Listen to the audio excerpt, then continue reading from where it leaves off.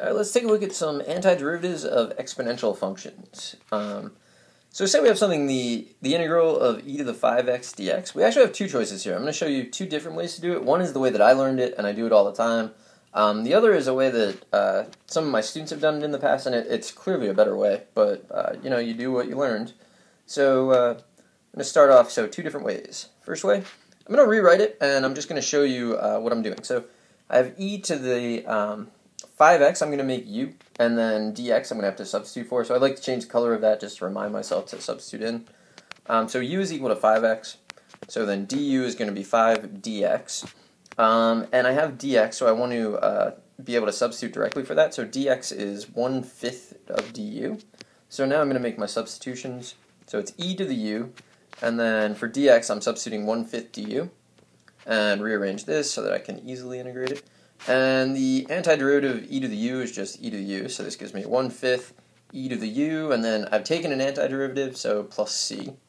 And then the original function was in terms of x, so let's go back to x. So 1 fifth e to the 5x plus c. Okay, so that's one way of doing it. Um, put a box around that. Another way of doing it is this. So I'm going to, again, in purple, show you what u is equal to. So I'm going to make u be e to the 5x. So in doing that, I get u is e to the 5x. So I take derivatives. du is 5e to the 5x by the chain rule, um, dx. And then look at this. So I have e to the 5x in the original e to the 5x. I have a dx in the original I have a dx. Um, the only thing on the right hand side there that I don't have in the original is a 5, so I'm going to move it over to the other side and get 1 fifth du is e to the 5x dx. And now I'm going to actually substitute for e to the 5x dx and it's just going to give me 1 fifth du. So the integral of 1 fifth du, rearrange that, pulling out a constant, is 1 fifth the integral of du. The integral of du is just u. I've taken an antiderivative, so I put a plus c. And then I want my final answer to be in terms of u. And u was actually e to the 5x. So I get 1 fifth e to the 5x and then plus c. Okay, so that's two ways of doing it. Uh, let's do another example. It's a little different. Not really, but so I have 5 uh, to the sine of x times cosine of x dx. And I'm going to do this using that second method. So uh, I'm going to make u be 5 to the sine of x. So usually when there's an exponential, a really good choice of u is to make u actually just equal the entire exponential.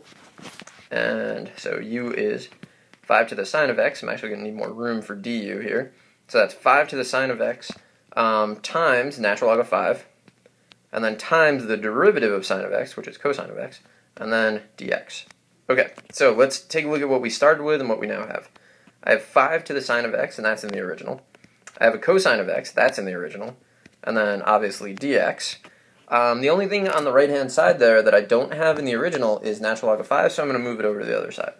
So 1 over natural log of 5 du is equal to all that stuff. And now I'm ready to just make substitution. So I get the integral of 1 over the natural log of 5 du uh, rearrange it or pull out the constant again. It's kind of a theme here. Uh, the antiderivative of du is just u. So I get 1 over the natural log of 5 times u, took an antiderivative, so plus c. And then finally we want it all in terms of the original function, so go back to x's. So 5 to the sine of x, and then plus c. Alright, so that is uh, two examples really. I did uh, one of them two different ways, and uh, I think the second way is better but uh, it's just not how I'm inclined to do it, but I think you should definitely do it. So I hope this was helpful and good luck.